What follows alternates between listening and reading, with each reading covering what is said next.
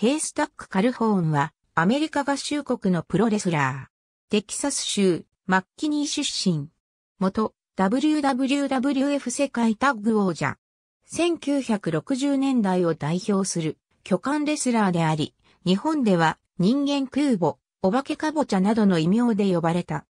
少年時代から地元の農場で働いていたが、その巨体をオービル・ブラウンに見込まれて1954年にプロレス入り。オーバーオールを着用し、家畜の蹄鉄を鎖で首にぶら下げた農夫ギミックの超巨漢ベビーフェイスとして売り出され、1956年12月13日には、カンザスシティにて、ルー・テーズの NWA 世界ヘビー級王座に挑戦。1960年代初頭は、ニューヨークでの体重 300kg のハッピー・ハンフリーとの巨漢対決で勝利を収めて、注目を浴びた。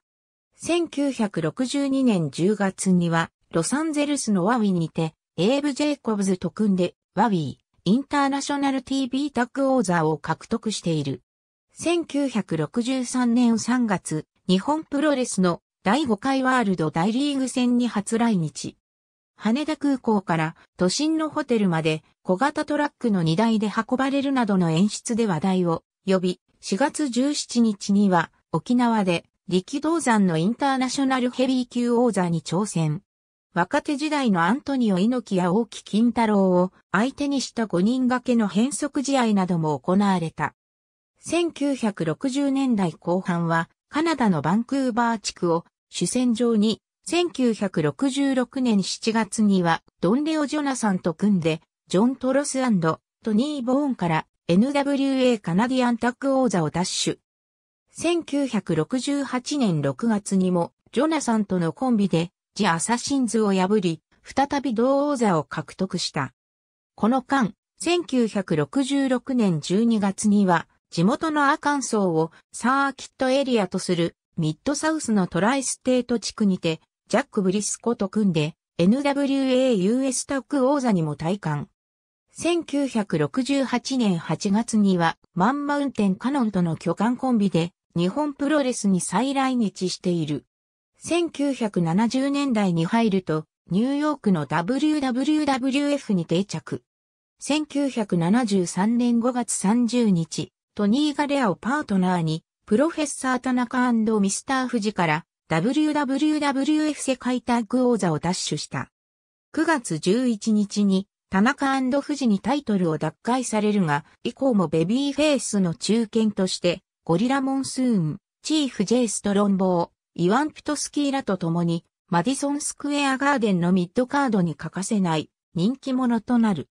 ブルーノ・サン・マルチノやペドロ・モラレスともタッグを組み、1977年6月6日には、スーパースタービリー・グラハムの WWWF ヘビー級王座にも挑戦した。1978年6月、WWWF との提携ルートで新日本プロレスのサマーファイトシリーズに参戦。10年ぶりの来日を果たしたが、日本プロレス参戦時と比べ体重は大幅に落ちていた。7月15日には、根室にてチョキとのシングルマッチが行われ、7月24日の広島県立体育館大会では、ピーター・メイビアと組んで、坂口誠二ストロング小林の北米タッグ王座に挑戦した。なお、このシリーズには後に WWWF でメイビアのマネージャーを務めるフレッド・ブラッシーも来日しており、本国ではベビーフェイスのカルホーンも旧敵ブラッシーをマネージャー役にしてヒールを演じた。翌1979年6月には新日本のブッキングでアンドレ・ザ・ジャイアントと共に国際プロレスに特別参加している。その後、健康状態が悪化して1980年代初頭に引退。1986年に糖尿病のため左足を失い、1989年12月7日に死去。55歳没。晩年の体重は 151kg ほどまで減少していた。2017年3月31日、WWWF での実績を称え、WWE 伝道のレガシー部門に迎えられた。ありがとうございます。